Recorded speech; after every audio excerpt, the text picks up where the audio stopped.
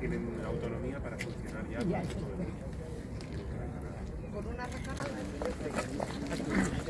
Claro, el fotógrafo manda siempre. No, no.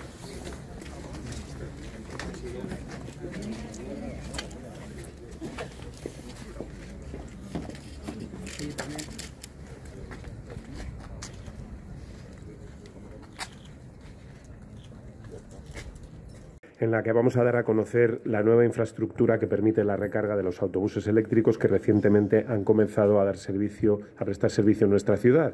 Pues para poder ver esta estación de carga de autobuses de la empresa Aubasa y que por lo tanto, pues en fin, no van a suponer un punto de, de referencia y desde luego, pues también suponen un paso más en este camino que estamos llevando a cabo desde el Ministerio, pero desde luego gracias al impulso de ciudades como Valladolid, ¿no? este camino que decía hacia una movilidad mucho más sostenible y desde luego hacia la descarbonización tan necesaria del, transporte público.